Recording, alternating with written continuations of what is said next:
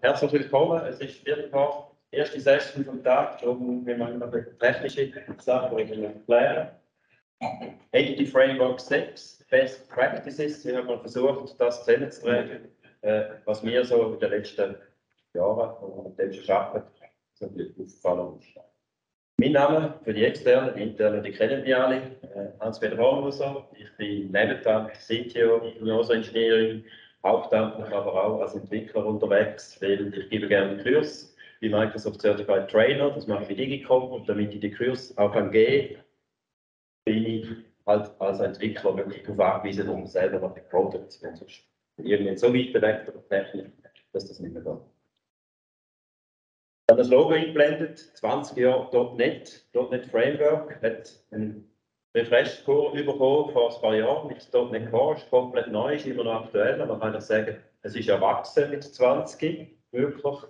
Äh, und das Entity Framework Core, würde ich sagen, mit der Core-Version ist auch erwachsen, das Entity Framework selber, seit .NET 3.5 und am Anfang war es nicht wirklich so sexy gewesen, es hat Performance-Probleme gehabt, das haben wir verbessert.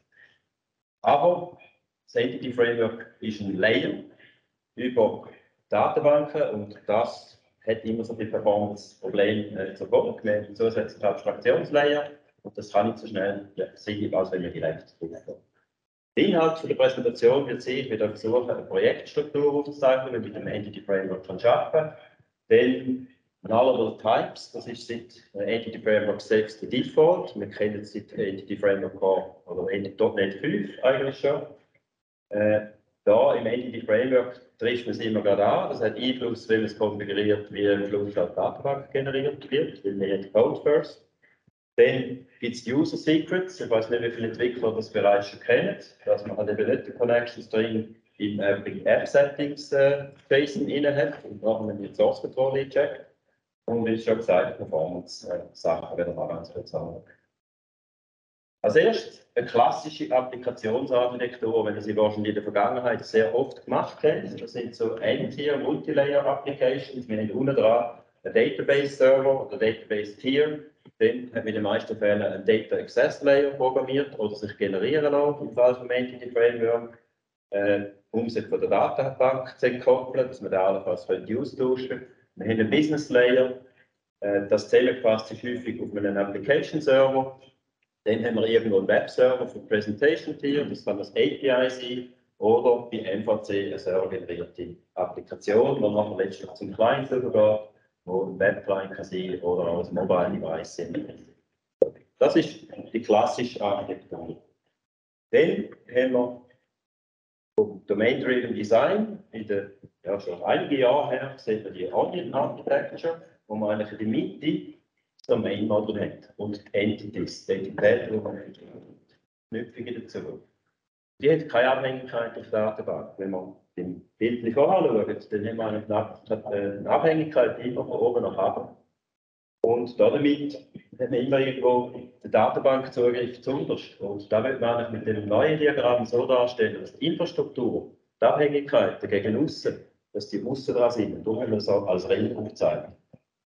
Neben dem Ring rundherum, das wir vorher der Business Layer ist, dort haben wir Application Services oder Domain Services, kann man sie auch nennen. Und ganz außen haben wir, wie gesagt, die Infrastruktur. Da dazu gehört einerseits eben der Datenbankzugriff, der anderen Seite aber auch die Presentation gegen das Google. Und das kennen wahrscheinlich auch die meisten, aber wir haben dort auch andere Schnittstellen, irgendwelche Treiber, die dort sind. Das ist da, was am häufigsten ändert.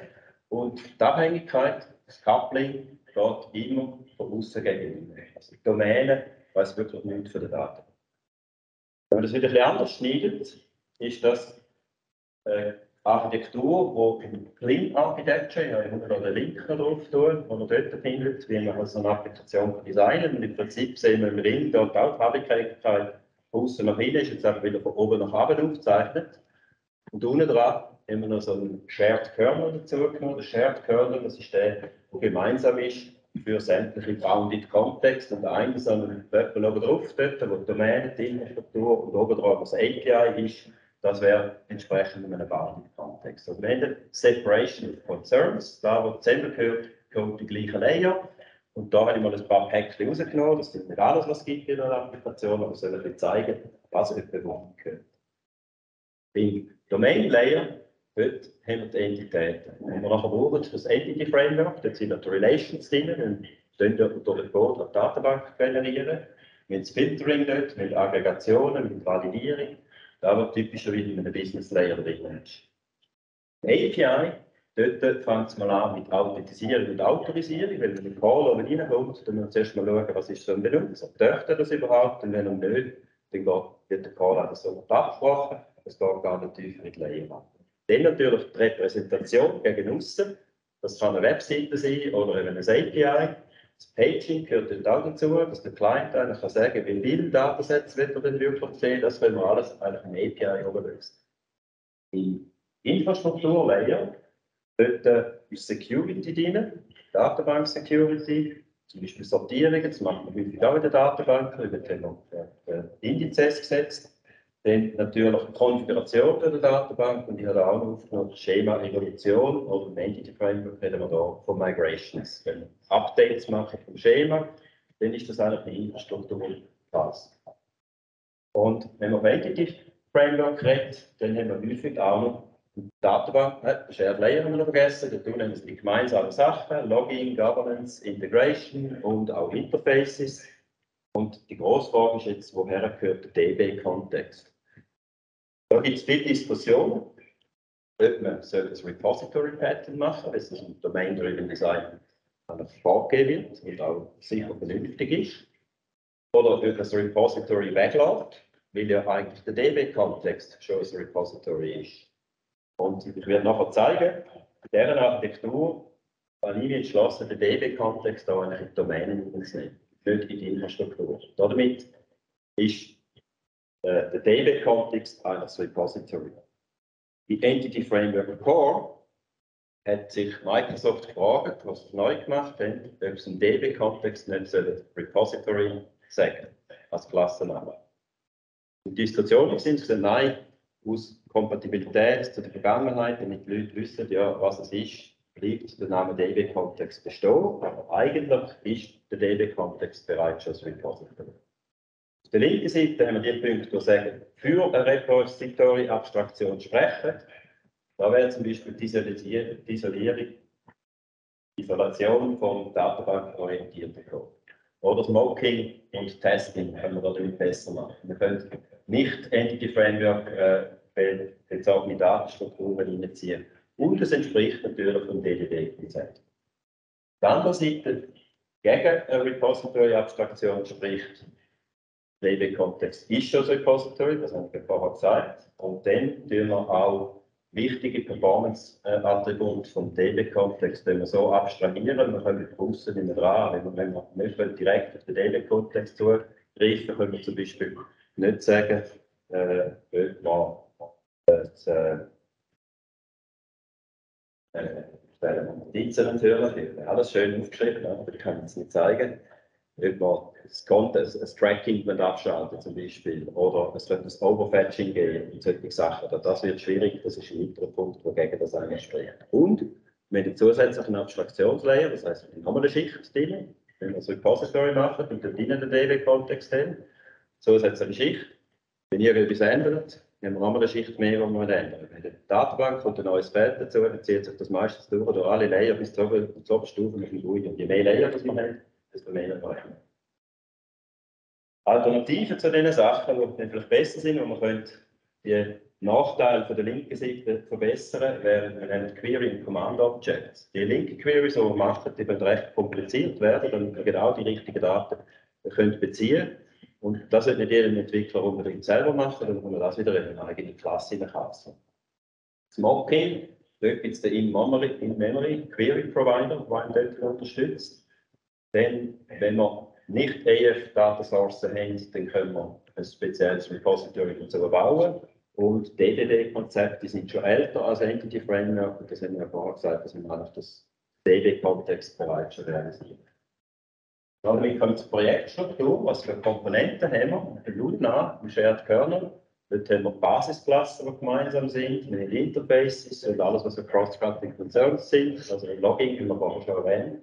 Und Etwas, was vielleicht überrascht, mit dem Tonius Package Entity Framework Core bereits schon importieren. Unterste Layer. Sagt, hm, das hat ja noch nichts mit Datenbank zu tun, aber wir werden nachher sehen, warum das jetzt braucht. Im Domain Layer, da brauchen wir es dann definitiv, weil da definieren wir die Entities und mit dem DB-Kontext dort und äh, Abhängigkeiten zwischen den Entities und irgendwelche Services, die man dort braucht. Die Infrastruktur, dort die Konfiguration vom DB-Kontext, welche Datenbank ziehen wir dann effektiv an, plus Migrations. Da braucht man zusätzliche Packages, zum Beispiel Entity Framework Core für SQL oder halt für jeden anderen Provider, den wir dort einsetzen. Und sofern man CLI verwenden zum Migrationen machen, auf dieser Ebene während der Entwicklungsphase, dann haben wir auch Entity Framework für Tools. Die Tools, können auch bei der Management-Konsole und dran die Kommandos eingeben. Wenn wir alles mit EF-Kommandos machen, also mit den PowerShell-Kommandos, dann braucht es das nicht. Eine API oben, dort haben wir Controllers, wir haben DTOs für die Repräsentation gegen außen und wir haben die Konfiguration von IOC. Packages, natürlich Swashbuckle und da braucht man auch noch Entity Framework for Design Package. Da muss immer im Hauptprojekt der Applikation drin sein. Die drei Layer unten dran, dort haben wir nur Klassenbibliotheken. Die können wir teilweise auch mit .NET Standard machen, aber heute denke ich, wenn Inkompatibilität zum alten Framework gefordert ist, dann können wir Entity Framework 6 für das verwenden. Da haben wir auch Long-Term Support. Projektstruktur möchte ich euch kurz zeigen, anhand von einer kleinen Demo. Eine Applikation vorbereitet.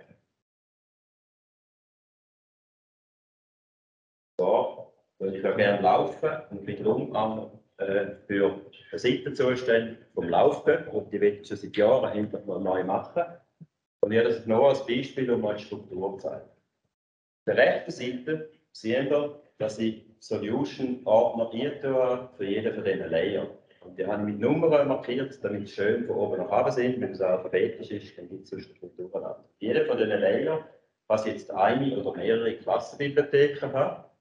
Die Abhängigkeit ist immer von oben gegeben. Das heißt, wenn ich da zum Beispiel das Domain Project File auftue, dann seht ihr, der hat auch ein Shared Kernel, ein Infrastructure Projekt, dann eine Abhängigkeit, das Domäne-Projekt und so weiter. Das ist klar. Im Domänenprojekt finden wir einen Ordner mit den Entities drin. Und ich habe es da mal ganz vereinfacht gesagt, an dem Laufwerk, da machen Läufer mit, das ist der Runner. Und der braucht eine Startnummer, das ist das Ticket. Jeder Läufer hat ein einzelnes Ticket. Und damit die Applikation komplexer wird, wird der Rest weglassen. Der Runner hat nur drei Properties, der kriegt irgendwo ein ID, hat den Nachnamen, natürlich hat er auch einen Vornamen, eine Adresse und so weiter. Und vielleicht ist er eine Organisation, das sehe ich nachher noch, was das Problem ist, weil ihr seht ja da, die sind bereits das grün unterliniert. Da haben wir das Problem mit den Nullable Types. Und das wird nachher zeigen, es gibt verschiedene Möglichkeiten, das zu lösen. Ticket rein, habe ich auch noch äh, zwei Properties, ID wieder, auf einer Datenbank, können wir auch Startnummern legen grundsätzlich, aber es kann sein, dass ich verschiedene Läufe abbilde und dann habe ich für verschiedene Läufe die gleiche Startnummer. Darum eignet sich das nicht unbedingt das ID des Tickets. Für einen einzelnen Lauf ja, da kommt nachher mehr dazu. Plus, wir haben das Navigation Property auf den Runner. Da ist speziell nachher, Startnummer gibt es nicht, ohne dass ein Läufer da ist. Und auch da sieht man, haben wir das Problem mit aller Zeit. Machen wir lösen. Weiter. Wenn die Entitäten müssen wir konfigurieren und dort machen wir das normalerweise im Domain-Kontext. Im Domain-Kontext.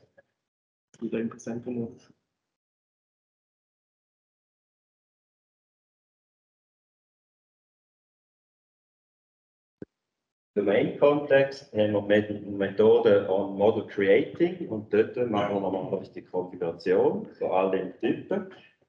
Und die Methode habe ich schon viele Projekte gesehen, die wachsen, wachsen, wachsen mit jeder Identität. Jetzt habe ich nur zwei, das ist nur übersichtlich. Aber wenn ich 50 gehe, dann sieht es ein bisschen anders aus. Das müssen wir, können wir entweder durch Attribut machen, mit Attribut basiert, das Required-Attribut zum Beispiel, oder das Max-Length-Attribut zum Typlänge angeben. Äh, oder die andere Variante ist eben, man macht zum Fluent API und von da macht man jede Entität einen eigenen Configuration-Plan. Das kann dann so aussehen, in der Class ist I Entity Type für die bestimmte Entität implementiert. Methode und Definition Last Name Required Property. Jeder muss das haben und jetzt da einfach ein Max längst mal Organisation. Das ist ein optionales Property. Man kann in einem Verein mitmachen, vielleicht wird es passen, aber das ist freiwillig. Und darum ist nicht required, hat aber auch eine Länge. So haben wir dann alle die Konfigurationsklassen und jetzt müssen wir das irgendwo schauen, dass die aufgerufen werden. Und das machen wir im OnModel Creative von unserem DB-Kontext. Da gibt es eine Methode, ich glaube, die ist mit .NET Core 5 dazugekommen. Apply Configurations from Assembly, da geht bis Startup über Reflection durch und durch sich alle die Configuration-Klasse und ruft die Configure-Methoden auf. Dann haben wir das schön separiert. Kommen wir zu der Infrastruktur. Das ist jetzt ein Layer oben dran. Da muss ich meinen DB-Kontext konfigurieren. Und dort machen wir einfach einmal eine Methode rein, Add Infrastructure. Das ist eine Extension-Methode für meine Services. Die kann ich nachher aus dem Startup, aus dem Programm CS oder früher war es Startup CS-Klasse, einfach aufrufen, dass der, äh, der IOC-Container eigentlich dort konfigurieren. Und was wir dann brauchen, ist ein Connection String. Und da konfigurieren wir jetzt den Provider. In dem Fall haben sie mir gesagt SQL Server, aber es könnte ein SQLite sein oder ein Oracle oder irgendetwas. Und was wir da auch noch setzen, wir haben den DB-Kontext im Domain-Layer und wir haben im Infrastruktur-Layer Migrations und darum muss ich da Ihnen sagen, das ist das Migration Assembly, damit er das nicht zusammenpackt. In den meisten Projekten, die ich jetzt gesehen habe, ist das immer im gleichen hinein dann muss man das nicht machen, aber damit es funktioniert, ist das Konfiguration dazu. Gut. Wie rufen wir jetzt die Konfiguration auf? Weil ich muss auch im Infrastrukturlayer eine Konfiguration haben für die datenbankabhängigen Sachen. Also zum Beispiel, da haben wir für Indizes drauf, etc. Aber der Aufruf, der kommt eigentlich aus dem Domain-Layer raus, dort wo wir das On-Model Creating haben. Wenn wir jetzt noch datenbankabhängige Sachen konfigurieren und der typische Weg, wenn man so einen Call up the stack macht, ist natürlich Dependency Inversion. Das heißt, wir tun von abstrakten Interfaces abhängen, statt von konkreten Implementationen. Und damit können wir das Interface in unserem Shared Kernel definieren. Und die Implementation dazu ist im Infrastrukturlayer. Das sieht dann so aus. Und im DB-Kontext das Interface, das wir brauchen, und die Implementation dazu halt eben oben in der Konfiguration in der Infrastruktur. Das sehen wir es wieder per Code. Und das ist der Grund, warum das Entity Framework Core Package eben unten dran im Shared Kernel unten mit referenzieren. Wir haben hier den Model Builder. Und der kommt aus dem Paket, da brauchen wir noch ein Interface. Es gibt dort eine Configure Model Methode, wo wir nachher oben dran implementieren. Und im Domain Layer sehen wir da den Aufruf. Also ich lasse mir die Konfiguration injecten über Dependency Injection. Ich muss natürlich den Typ auch noch registrieren entsprechend. Ruft Configure Model auf, der Call geht ab auf die Infrastruktur und die Implementation haben wir nach oben dran. Äh, sieht so aus, wir haben ein SQL Model Configuration im Infrastructure Layer, wo wir dann auch wieder können aufrufen Apply Configurations vom Assembly. Und dann werden alle die Konfigurationsklassen, die wir in der Infrastruktur haben, auch noch aufgerufen. Also wir haben eine Kopplung einer von den typspezifischen Konfigurationen, eben wie lang kann ein Feld sein, und der datenbankspezifischen Konfigurationen, hat es einen Index drauf oder nicht, zum Beispiel. Da haben wir wieder eine kleine Demo. Ich zeige euch. Der Datenbank-Kontext ist auf dem Domain-Layer. Dort lassen wir uns die Model Configuration injecten, wie wir das vorher schon gesehen haben. Wir haben hier die DB-Sets für die Runners und Tickets und allenfalls noch weitere, die dazukommen. Da sehen wir nachher noch mehr dazu. Wir haben die Configure Model Methode, die wir aufrufen. Im Shared Kernel habe ich im Moment nur das Interface, das ich definiert habe. Und in der Infrastruktur oben einerseits die Service Registration. Das ist das Add Infrastructure, das wir vorher schon gesehen haben.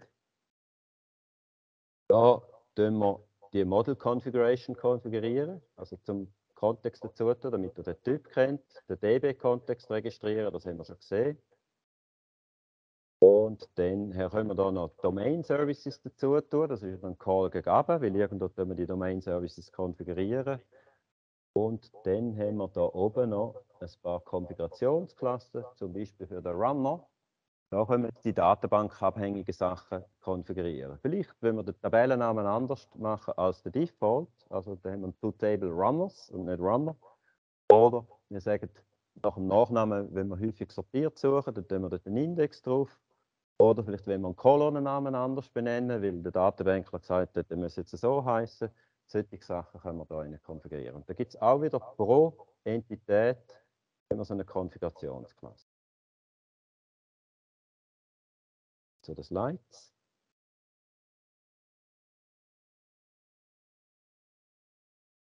Wir könnten wahrscheinlich so einstellen, dass man das immer macht. So, also.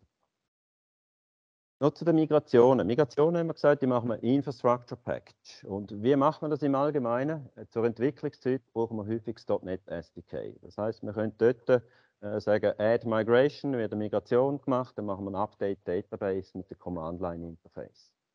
Äh, zweite Variante ist, wenn wir noch in die Produktion gehen, können wir uns ein SQL-Skript generieren, wo wir dem, wo die Applikation betreibt, können gehen. Dann kann das ausführen, dann wird das Update bei der Installation auch ausgeführt. Das ist nicht ganz optimal, weil die Skripts, ja, hat man schon ausgeführt oder nicht, man sieht es nicht so ganz. Was man häufig sieht, ist, dass man das beim Application Startup macht. Das ist ungünstig, weil dann eigentlich die Applikation zu viel Recht hat. Weil dann kann dann plötzlich Tabellen generieren, Alter-Table machen und so weiter. Und die Applikation läuft nachher mit einem Connection String, wo eigentlich sämtliche Rechte auf der Datenbank hat, obwohl man vielleicht nur Daten lesen will. Das ist das eigentlich eine ungünstige Geschichte.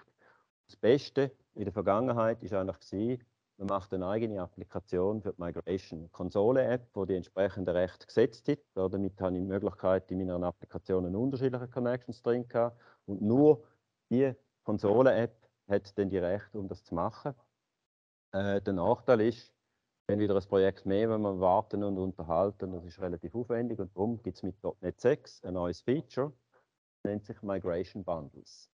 Damit haben wir die Möglichkeit, mit einem Befehl in der Build-Pipeline eingebaut, so ein Bundle zu kreieren. Äh, das geht mit .NET EF Migration Bundle. Dann müssen wir zwei Parameter mitgeben, nämlich welches Projekt ist die Infrastruktur drin, sprich meine Migration Classes, weil ich das getrennt habe, und welches ist das Hauptprojekt der Applikation. Wenn ihr mit der Konsole macht, dann könnt ihr die zwei Sachen eigentlich auch immer auswählen. Für immer das Projekt auswählen, wo meine Migrations drin sind, als Default Startup-Projekt. Und das zweite Projekt dann ich auswählen, welches ist das Hauptprojekt. Also man kann es auch im, im Visual Studio auswählen. Im Command Line müssen wir es natürlich nicht geben. Das generiert uns ein Executable, das nennt sich efbundle.exe, wo eigentlich die Migration in dem Projekt drin ist. Dem können wir einen Connection String mitgeben, nachher, wenn es ausgeführt wird. Das sehen wir da unten, wenn man das ausruft.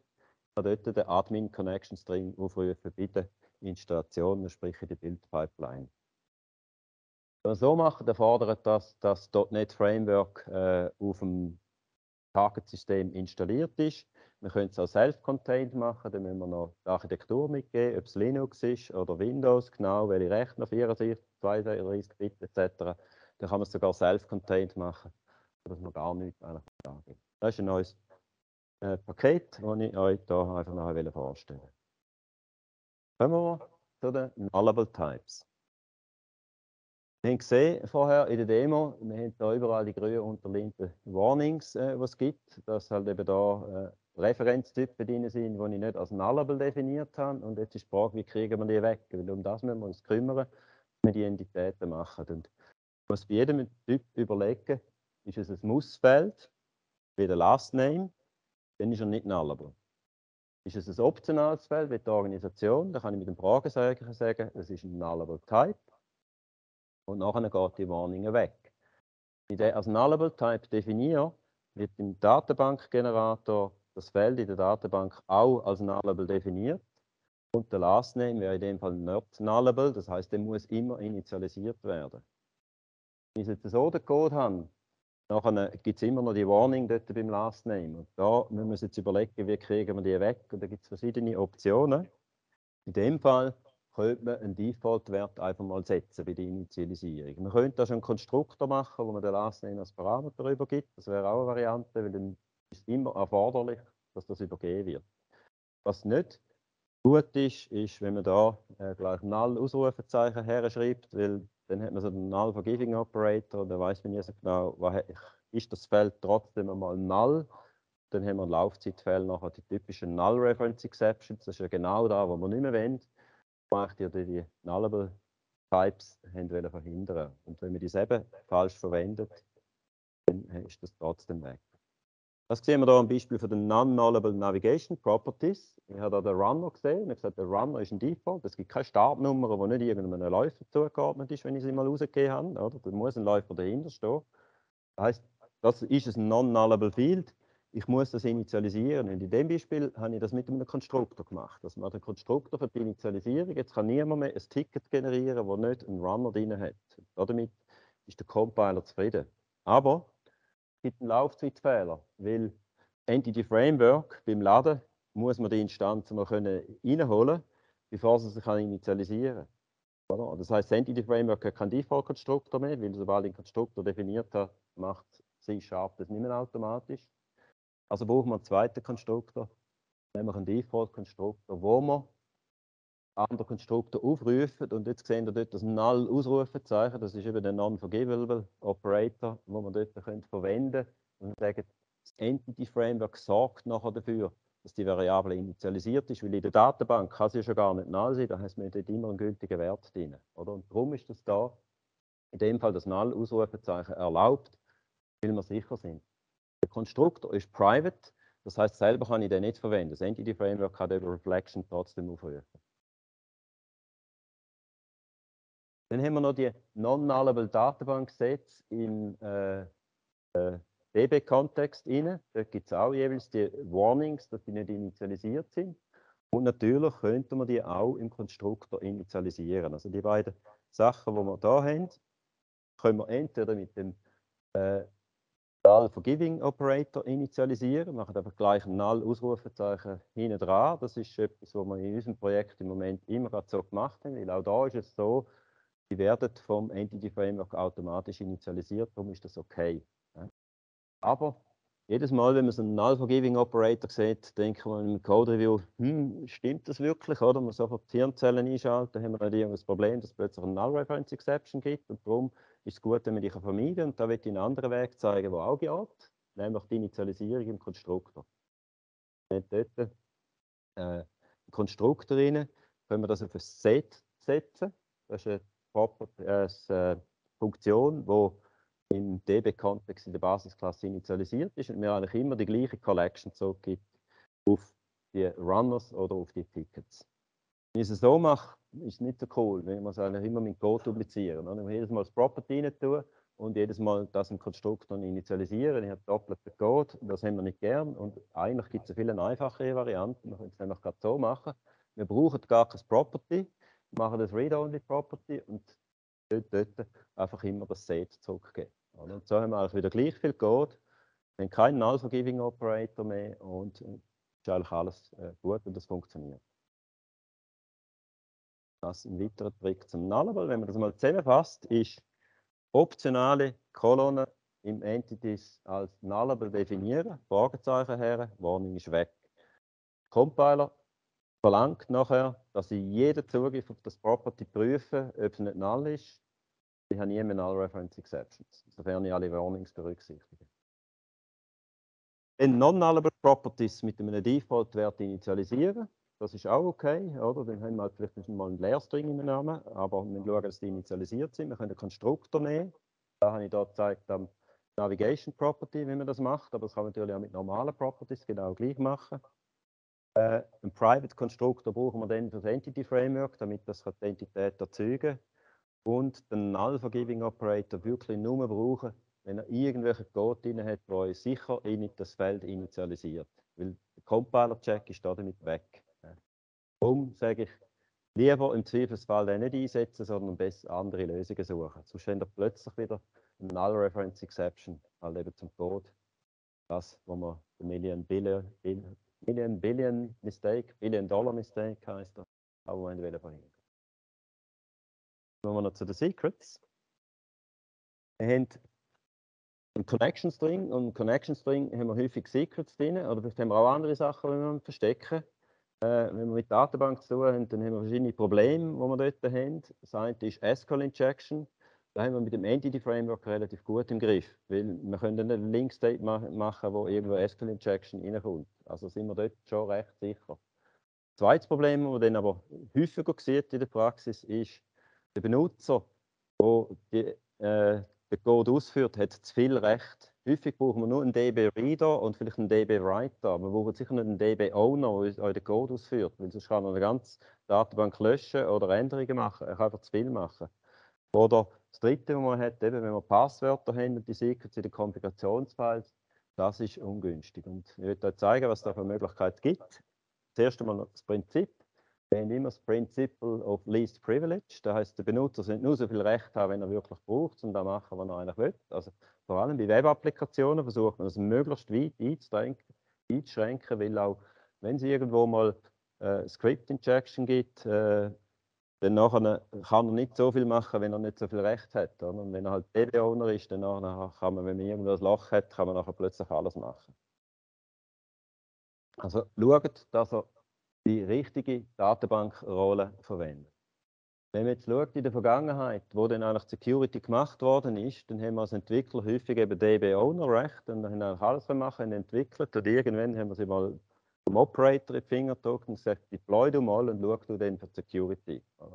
Als Security steht da ganz hinten Das Shift-Left-Principle, das führt eigentlich dazu, dass man die Security-Anforderungen ganz früh schieben, eigentlich am Anfang des Entwicklungsprozesses. Das heißt, auch wir Entwickler haben nur so viel Recht wie eigentlich der End-User oder nur so viel Recht, wenn wir effektiv brauchen für die Applikation. Der letzte Punkt, keine Secrets in den App-Settings. Wie können wir das machen? indem wir einen Connection String haben, wo keine Secrets drin sind. Also da ist ja, wo man häufig auch sieht auf der Entwicklermaschine, wir arbeiten mit Integrated Security, aber damit ist das Prinzip eben gerade schon wieder verletzt, was ich vorher gesagt habe, ich habe viel zu viel Recht dann. Oder? Immerhin habe ich keine Secrets drin. Der zweite Punkt ist, wenn wir jetzt die Datenberechtigungen einschränken, machen wir einen SQL Connection String, das heißt, wir geben den User und ein Passwort an da geht jetzt die Source Control und da ist das Secret irgendwo öffentlich rausgegeben. Das ist sicher keine Lösung. Darum machen wir den Connection String so. Wir tun zwar im App Settings einen Connection String vielleicht noch rein, damit, wenn irgendein Entwickler das Projekt sich abzieht und ausführt, dass er eine Fehlermeldung kriegt. Weil das Passwort dort, da funktioniert sicher nicht. Aber da gibt es einen Hinweis dazu, was er eigentlich machen muss. Und das ist da, die Lösung ist, auf der Entwicklermaschine. Wir können die User Secrets verwenden. Ich weiß nicht genau, wenn es dazu ist, mit welcher Version, aber es ist auch ganz einfach, wenn wir das können, äh, ausführen Man macht einen Rechtsklick auf dem Hauptprojekt, sagt Manage User Secrets. Und dann wird eine neue Datei angelegt in die User Settings und im Project File gibt es eine User Secrets ID, die dann auf den Ordner verweist in den Benutzer-Settings. Und das ist außerhalb vom Tree von meiner Applikation und geht darum nie ins Source Control System. Und mein Connection String, den ich brauche auf die Applikation, den kopiere ich das in das Secrets-File rein. Und man muss dann bei der Initialisierung vom, im Program CS oder im Startup CS noch den Code ausführen, dass man da die User Secrets noch dazu tut, damit er die Secrets dann entsprechend aus dem User Secrets File rauslässt. Das möchte ich ganz kurz zeigen. Kennen wir das schon? Wer kennt? Okay, gut.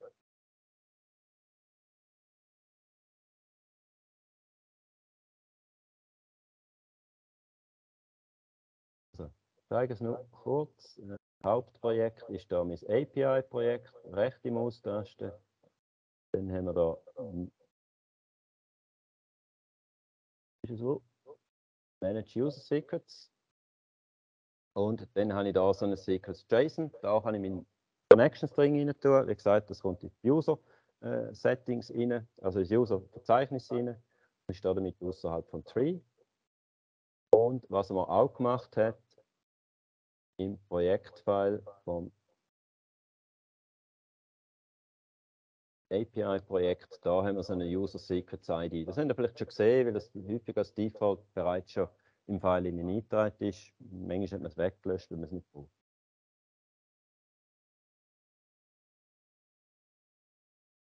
Gut. Aber was machen wir jetzt in Stage in Production? Wenn Cloud rausgehen, dann haben wir dort entweder Azure Key Vault oder wie AWS heißt der Key Manager. Wenn wir auf Kubernetes gibt es auch einen Key, äh, so einen Key Vault, der HashiCorp Vault heißt der verwendet nicht Kubernetes Secrets, weil die sind nicht so sicher. Auf anderen Plattformen, wenn nicht in der Cloud sind, dann müssen wir auch irgendwo eine Lösung haben und dort geht es über Environment-Variablen. Environment-Variablen sind auch nicht von zugreifbar, so einfach. Da können wir Variablennamen, zum Beispiel Connection String mit zwei Underscore, dann den Namen von der Connection und dann werden die entsprechend dort, von dort her eingelesen und überschrieben, weil die Default-Einstellungen Startup äh, die Bilder kreieren, der holt eigentlich auch die ganzen Konfigurationssettings für die Environment-Variable und dann werden die, wo wir App-Settings haben, überschrieben. Das heißt, mein Connection String, den ich vorher dort definiert habe, der wird auch gar nie so gebraucht. Und noch besser ist, wenn wir gar kein Secrets hätten, wenn wir auf Azure sind, dann geht er dort mit Managed Identity, dann können wir Berechtigungen im, im Azure so konfigurieren, dass wir eigentlich gar keinen Connection String mehr brauchen. Wir können direkt auf den Data Store zugreifen. Gut, dann kommen wir schon zum letzten Punkt, Performance. Wenn wir mit Entity Framework arbeiten, haben wir drei Aspekte von Performance. Das eine ist Datenbank-Performance. Dort, wo äh, unsere Datenbank, unsere SQL-Statements ausgeführt wird. Dann nachher haben wir Netzwerk-Performance. Da ist Frage, wie viele Daten gehen über das Netzwerk, wie viel hole ich aus der Datenbank raus, damit ich den Schluss darstellen Das sollte man so wenig wie möglich oder so viel wie nötig holen. Das dritte ist Runtime-Performance wie performant ist der DB-Kontext, was habe ich dort für Möglichkeiten, um das zu konfigurieren. Datenbank-Performance, dort können wir bessere Link-Statements schreiben, äh, die besser funktionieren. Beim Netzwerk-Performance holen wir nur die Daten, die wir brauchen. Patching zum Beispiel, das heißt, wenn man nur 10 Datensätze holt, statt äh, alle 10.000, wenn man nur 10 darstellen. Beim Runtime-Performance, dort gibt es die Möglichkeit, No-Tracking-Queries zu verwenden oder wir können Compiled Models nehmen. Das ist auch ein neues Feature, das mit Entity Framework Core 6 dazugekommen ist. Ich zeige nachher kurz. In der Optimierung da gilt immer die erste Regel, nicht optimieren und die zweite und die dritte auch noch. Oder? Und wenn wir dann optimieren, wir zuerst mal messen, bevor wir optimieren. Da hat der, der Alex heute Nachmittag noch einen Talk, äh, wo er das Tool zeigt. Ich habe das zuerst auch wählen, aber gesehen, dass er das macht. Dann haben wir es weggelassen, weil er kann das viel besser. Dann haben wir die Link-Statements. Da ist es nützlich, wenn wir wissen, welches Link-Statement generiert man denn welchen SQL. Wenn ich im Profiler schaue oder auch im, im Logout-Put schaue, kann man so konfigurieren und SQL-Statements sieht. Können wir die gerade taggen und da gibt es seit der Core 2 die Möglichkeit Tag with und irgendeinen Namen angeben. Meistens ist der Name von der Prozedur, was drin ist. Äh, seit Entity Framework Core 6 gibt es eine andere Möglichkeit. Das ist Tag with Call Site. Dort tut da automatisch der Pfeilname und die Zellennummer von den Call rein. Dann sehe ich genau, aha, mein Statement kommt von dort im SQL rein. Und dann gibt es die Möglichkeit, äh, so anonyme Projektionen zu machen. Da zeige ich nachher schnell ein Beispiel, wie das gemeint ist, damit wir nicht zu viel Daten aus der Datenbank holen, um eben die Netzwerkperformance zu verbessern. Und dann werden wir das Tracking ausschalten, wenn wir es brauchen. Da zeige ich auch noch kurz das Beispiel, aber das kennen wahrscheinlich die meisten. Schauen wir das Tracking an. Da kennen wir ja, dass wir äh, Commands, Queries separieren. Das heißt, auf dem einen Pfad haben wir Kommandos, wo wir Daten ändern, auf dem anderen Pfad, wo wir es nur lesen äh, dort haben wir Queries. Das ist ein CQRS-Pattern, das man sicher kennt. Und wenn wir nur lesen, können wir direkt beim Kommando das As-No-Tracking rein tun. Das ist der Grund, warum wir vorher gesagt haben, wir brauchen, wenn wir es im Repository haben, dann, dann, kann das unter Umständen schon schwieriger sein. Es kann sein, dass es dort auch geht, aber wir haben nicht so eine feine Kontrolle. Dann können wir das As-No-Tracking machen. Das können wir auf dem Kontext einstellen. Wenn wir nämlich einen separaten Query Path haben, dann haben wir nicht einen DB-Kontext, wo gar nie muss irgendetwas tracken und das, das macht einiges aus da. Dann können wir das Query Tracking Behavior gerade komplett abschalten mit No-Tracking. Die anonymen Projektionen habe ich da als Beispiel. Das ist noch nicht mit der anonymen Projektion, sondern da machen wir einen Include. Und das Beispiel soll zeigen, könnt ihr vorstellen, an irgendeine Bestellung. Die Bestellung hat das Bestellitem und das Bestellitem zeigt irgendwo ein Produkt. Und jetzt möchte ich wissen, mit welchem Produkt mache ich äh, wie viel Umsatz. Und dann habe ich da meine Query gemacht, ich gehe auf Produkt und hole mir Bestellitems dazu. Äh, der Produktpreis soll größer 99 sein und ich bin interessiert nur Getränke zum Beispiel. Äh, die tun wir noch sortieren nach dem Namen, das wird alles schön in der Datenbank ausgeführt. Und nachher generieren wir uns hier die Results. Und was wir da noch speziell haben, ich rufe da eine Funktion aus, wo aus der ID irgendeine Referenz mir generiert auf irgendeine Art. Und das ist Business Code. Also das ist der Sharp-Code, den wir dort haben. Den können wir nie in der Datenbank ausführen. Und darum habe ich dann müssen separieren. Und nachher berechnen wir da noch die Summe. Also wir holen Bestellitems rein zum Summe berechnen, das machen wir in Memory. Und wenn man da würde schauen, würde der Include wieder immer sämtliche Bestellitems reinziehen. Also relativ viel Netzwerklast, wenn man ganz viele Bestellungen schon mal gemacht hat, nur zum das Total ausrechnen und sinnvoller wäre es, wenn man das in der Datenbank macht. Dann können wir die Query verbessern. Jetzt machen wir da äh, eigentlich ein Select von dem Product Result, wo ich da die Referenz generiere und meine Berechnung da für den Total Revenue in der Datenbank habe. Damit hole ich nur die Daten, Daten zurück, die ich in der Datenbank, also ja, die ich effektiv brauche. Damit viel weniger. Aber ich habe einen Runtime-Error, weil es die Funktion nicht gibt. Ich kann die äh, Get href Products nicht in der Datenbank ausführen. Und Entity Framework Core 2 hat das noch funktioniert. Da hat er das selber erkannt. Was machen wir in der Datenbank? Was machen wir im Memory. Das war aber nicht nur gut, gewesen, weil man hat es unter Umständen gar nicht gemerkt, irgendwann haben sie noch Warnings rein Darum sie es mit Entity Framework Core, das mit Feature wieder ausgebaut. Ja. Das so ein Breaking Change, den man hatte. Jetzt haben wir das nicht mehr. Darum kann man das auftrennen und jetzt kommen wir zu der anonymen Projektion. Da mache ich einfach den Select, Select zuerst mit New, ohne Datentyp, weil ich habe den Typ nicht da, da habe ich ein ID drin, da unten habe ich ein Product Ref, bin im Product Result. Also haben wir da einen anonymen Typ, der auf die Datenbank geht und der Select, der tut man nachher die Daten ummappen und ruft für jedes Item da noch die GetHRF Product mit. Das ist auch da damit gemeint. Wir haben nicht ein Overfetching von unseren Daten. Dann als letztes, der Compiled Model in Entity Framework Core 6. Ziel ist, wir wollen Startup-Time für den ersten Call reduzieren. Und da gibt es auch ein neues Tool. Das können wir aufrufen mit .NET EFDB Context Optimize. Wir müssen wieder das Projekt angeben, die beiden, wo dazugehört, Infrastruktur und Startup. Das generiert uns Code im Folder Compiled Models. Da müssen wir starten, die Reflection fliegt weg. Oder? Reflection ist immer langsam, wenn wir eine ganze Assembly suchen, die Calls zusammensuchen. Das ist viel schneller mit Code. Im Moment muss man es noch separat aufrufen.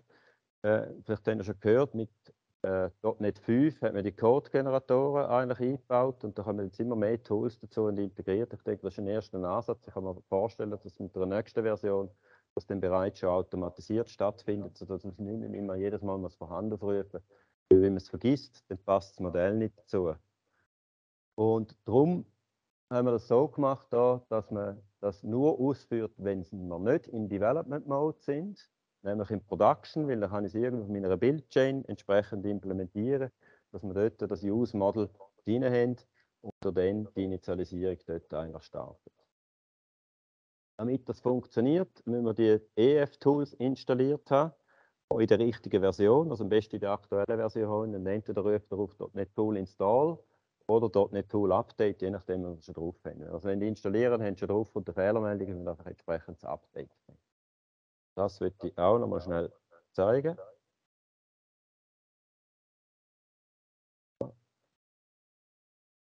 Generiert die Code. Da innen. Sehen wir da ein Compiled Model der generierte Code da für die verschiedenen Entitäten, für mein Model, da wird er quasi den DB-Kontext konfigurieren, einfach per Code. Und das ist generiert. Wie gesagt, jetzt muss man es noch von Hand aufrufen, per Command-Line, aber das ist im Prinzip da, wo man auch könnte automatisieren, das Post-Print-Prozess machen und nachher nennt man das auch jedes Mal. Gut, wir kommen zum Schluss.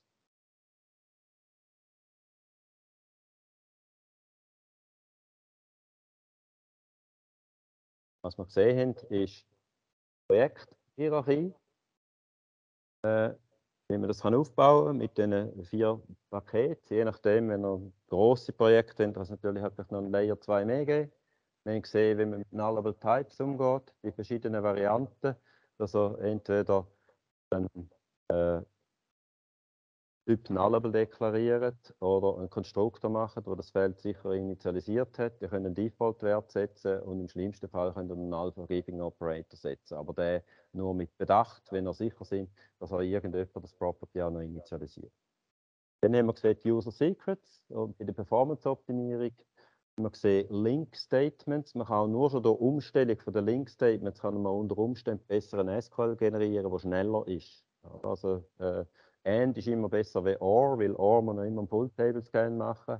Äh, was immer wichtig ist bei Performance, ist, wir Indizes korrekt setzen auf der Datenbank. Da gibt es aber auch Analyzer, mindestens im SQL-Server, die euch helfen, äh, die Statements zu verbessern oder, oder die Indizes äh, richtig zu setzen. Overfetching verhindern, schauen, was kommen wirklich von Daten zurück, was brauchen Sie denn eigentlich und einfach nur immer das Minimum holen.